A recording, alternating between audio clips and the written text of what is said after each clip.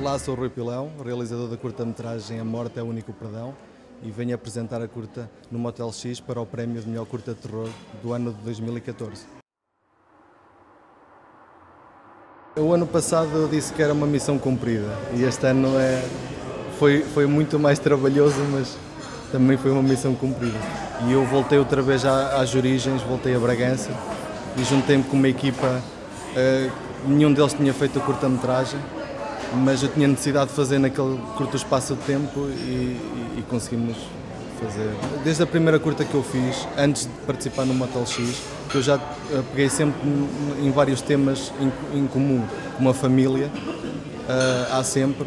O protagonista é sempre um personagem que está atormentado com o passado. Uh, existe sempre uma forte conotação religiosa em todos os filmes, uma forte crítica social também e há uma linha condutora que acho que é, que é importante haver quando há, não digo cinema de autor, mas quando és criador, quando crias o teu próprio argumento de uma história, faz, faz sentido fazer isso, especialmente quando tu queres cativar o público e queres que eles se relacionem com o filme.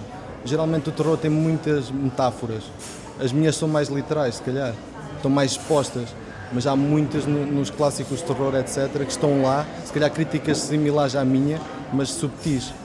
Uh, neste filme eu pretendia ah, contar uma história simples, que o público compreendesse, mas ao mesmo tempo desafiá-las, porque o final não é bem o final que se calhar pensam da primeira vez que vêm. Se virem mais uma vez, reparam noutros pormenores. Acho que é interessante quando tens várias camadas num filme e tens uh, simbolismos e subtextos que dão mais do que aquilo que aparenta ser.